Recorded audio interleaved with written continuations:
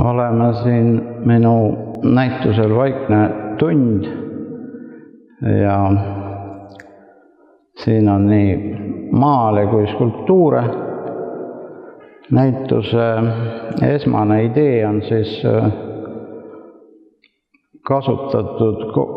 õppevahendid, mis koolid on nii-öelda oma tegevusest välja praakinud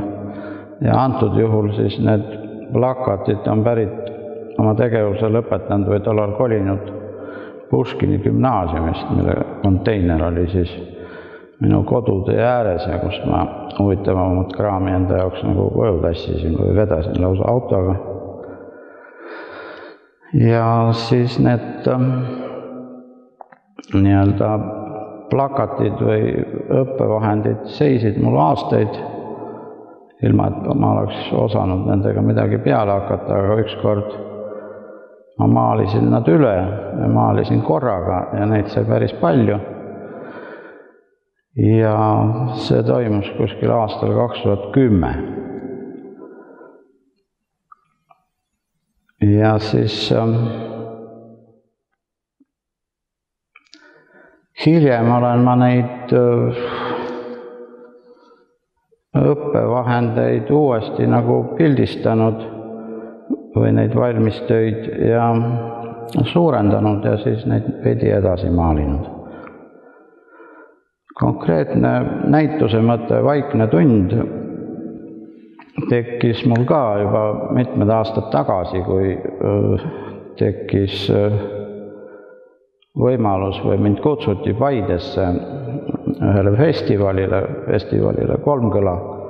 ja seal siis oli vaja nendele papitükkidele ka mingisugune ühtne, ühine nimetaja anda ja siis sai talle pealkirjaks Vaikne tund. Sest noh, kooliga oli see materjal nagunii seotud ja noh, sinnapaika siis see mõte jäi, et ja hiljem on neid töid veel nähtud Tallinna galeriis Metropol, kus nad olid siis ka nagu hästi väikses ruumis, kuue ruutmeetrises galeriis väljas. Nüüd, kus ma selle Tartu kunstimaja taotluse tegin, siis äh, ma mõtlesin ka päris pikalt, et mis asja ma siia pakun, mida mul siin on vähem nagu olnud, mida, mida ma võiksin siin näidata ja mis sobiks ka siia monumentaalgaleriisse, sest seda monumentaali ma tahtsin nagu kohe, et ta nagu natuke teistmoodi ruum ja niisugune kõrge. Ja siis saigi pakutud nii, et siin on need nii-öelda kooli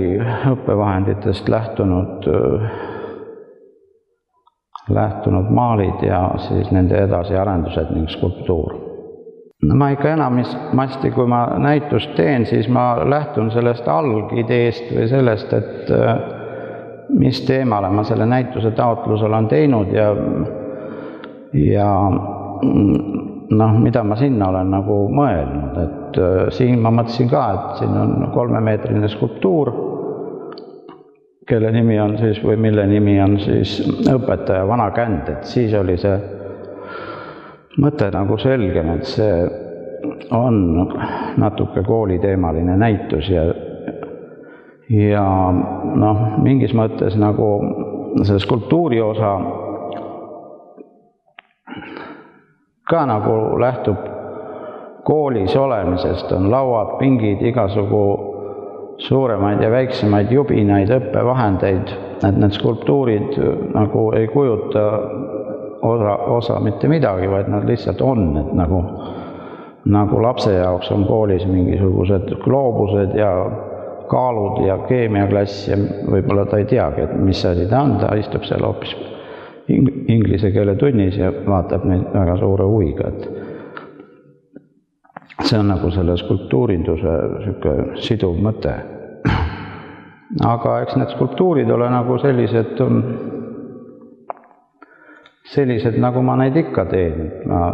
lõikan neid saega ja põletan ja värvin ja väga nagu suur